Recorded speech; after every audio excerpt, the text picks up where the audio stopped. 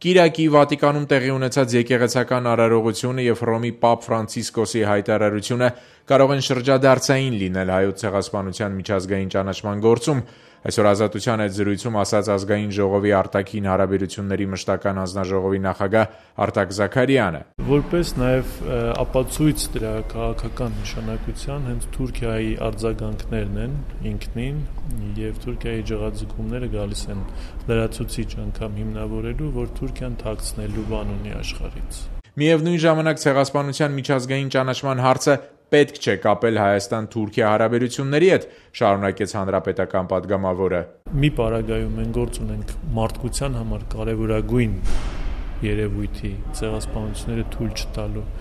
ցեղասպանությունների շղթողականության դեմ պայքարելու եւ բոլոր տիպի հանցագործությունների համար պատասխանատուներ ընտրելու հետ Եվ մյուս պարագայում երկու պետությունների միջև հարաբերություններ են, հարևանների միջև հարաբերությունները, որը հարևաններից մեկի կոշտ եւ անպատասխանատու դիրքորոշման պատճառով առայժմ տեղից չի շարժվում։ Հոյդա բյուրոյի հայդատի եւ քաղաքական արսերի գրասենյակի տնօրեն Կիրո Մանոյանի խոսքով միջազգային ճնշման ուժեղացումը կհարկադրի Թուրքիային ինչ որ ձևով առերեսվել իր պատմությանը եւ փոխել ճշնամական վերաբերմունքը Հայաստանի նկատմամբ։ Այն որ Թուրքիան ագասնեց այն ձևով որ ագասնեց, այսինքն գոշտ, բայց իսկ անմիտ անիմաստ ձևով, վկայում է որ Թուրքիան խոջաբի է մատնված։ Դրական գնահատելով տեղի ունեցածը Հայ ազգային կոնգրեսի արտաքին հարաբերությունների հանձնաժողովի նախագահ Վլադիմիր Կարապետյանը միաժամանակ նշեց. Իրականում Հռոմի Պապը նոր բան չի ասել եւ կրկնել են նախորդ Պապ Հովանես Պողոս II-ի 2001 թվականի հայտարարությունը։ Շուրջ 100 հրավիրյալների ցանկում, որոնց պաշտոնական Երևանը հրավիրել էր, վստահաբար պետք է լիներ նաեւ Հռոմի Պապը։ Եվ այստեղ է որ Ես ցավում եմ, որ նա չկարողացավ ընդունել այդ հրավերը եւ կարծում եմ հենց փոխհատությունն էր այդ խոսքերը եւ այն պատարակը, որը մենք ականատեսը դարձանք բոլորս իր այցի, իր Հայաստան այդ նշանակալի օրը ապրիլի 24-ին չգալու ասենց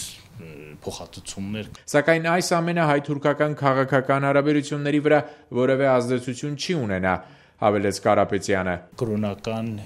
լիդերների գնահատականներով չէ, որ պետք է քաղաքական հարաբերությունները Հայաստանի եւ Թուրքիայի միջև կարգավորվեն։ Ժառանգության փոխնախագահ Արմեն Մարտիրոսյանը կարևորագույն քայլ գնահատեց Վատիկանում տեղի ունեցածը ցեղասպանության միջազգային ճանաչման գործում։ Որոշակիորեն հատկապես կաթոլիկ աշխարհի համար դա ուղենշային հանգամանք կլինի